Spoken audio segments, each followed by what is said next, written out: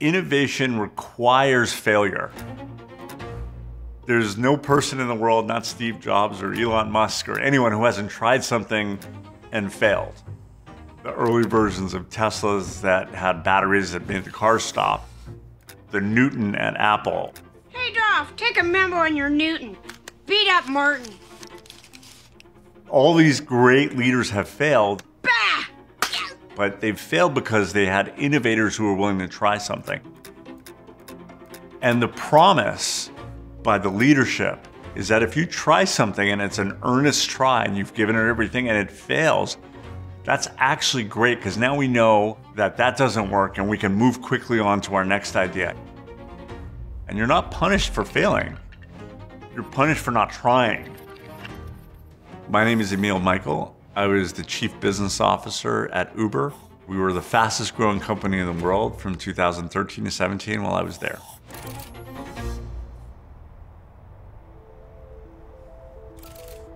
My time at Uber was extraordinary because we had a business model that worked from day one. If you can remember back to it, the first time you tried an Uber was magical. The notion of pushing a button and a car showed up was really revolutionary at the time. It was sort of an amazing consumer experience, so we knew we were onto something from day one. So then the question is, how do we 10x this? It was the first time in my career I was working with a partner, Travis Kalanick, who is the founder of Uber, who thought in an exponential way how do we exponentially grow this all over the world as fast as we can? Because we thought that the winner was going to be the one who got the most customers and the most drivers the fastest.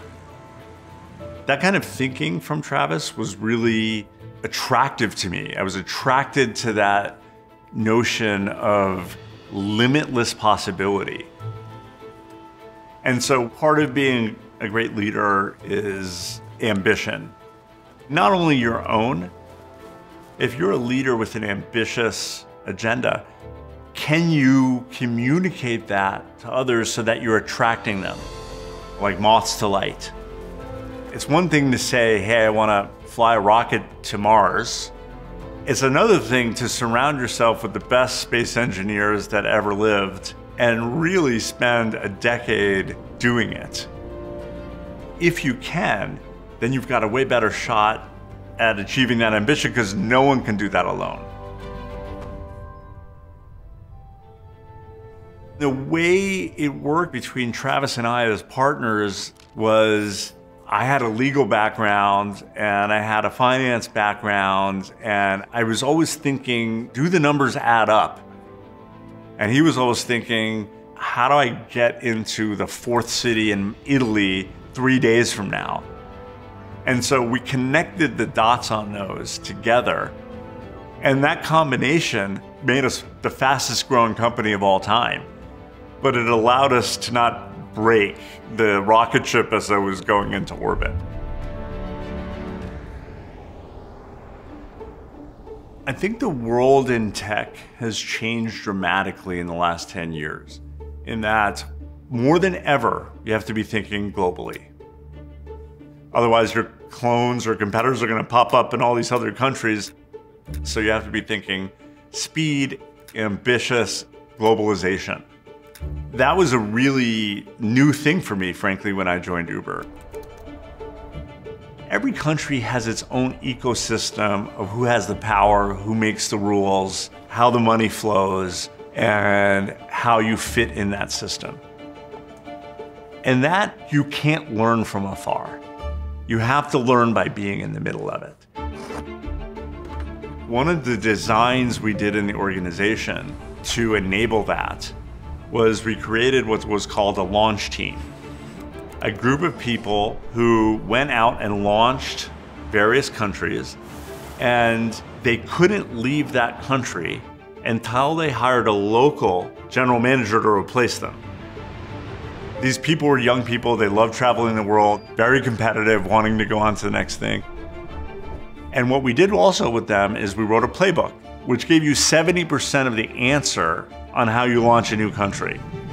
So, for example, when Uber would launch Mexico City, what is the playbook? How does that person who's never been to Mexico City, may not even speak Spanish, how do they start? Well, you have to research the transportation fares, research how people get around on public transport, bus, subway, taxi, personal see where are the stadiums and the gathered events to know where cars are going. to know how much drivers are what getting is the disposable paid. income of the average person who lives in Mexico what City. What are the regulations? What do they say about ride sharing? All those things were sort of off the shelf.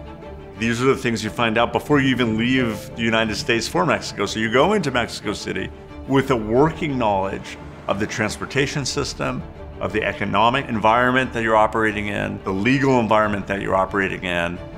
Those are the kinds of things that you can do ahead of time to make those launches easier.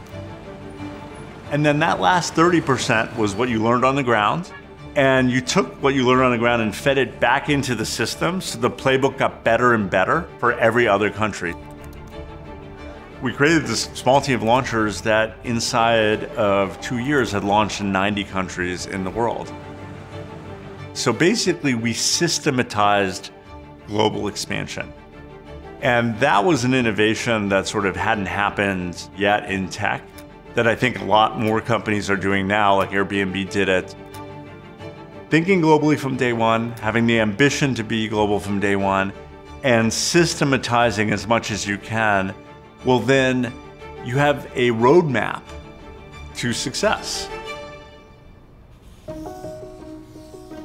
One of the most challenging moments I had at Uber and the most gratifying was how Uber did business in China. China at the time was the largest country in the world. So just the opportunity set in China was so enormous. Yet, one of the hardest challenges was how much money it costs to operate in a country like China. You're literally marketing to a billion people. Uber was spending hundreds of millions of dollars trying to win China, and we had a fierce local competitor called Didi. We got to a point where we were spending in a month more than most startups have spent in five years. That ambition from Travis was, was pushing on the gas on that. And I was trying to add the reality of how much money was available in the world to continue this battle. Travis and I did talk about it a lot, and I tried to drag him over the finish line and say, if we merge with our competitor there, that's not a loss, that's a win. We spent $2 billion in China, and if we merge with this company, that's gonna be 8 billion. So that means we made a $6 billion profit in less than three years. That doesn't mean we're retreating. That means we made the smartest business decision this whole year of anyone in business. And so changing how I described the outcome from we're retreating from China to we've won worked because it was consistent with his vision of, of wanting to win everywhere in the world. Get smarter, faster with videos from the world's biggest thinkers. To learn even more from the world's biggest thinkers, get Big Think Plus for your business.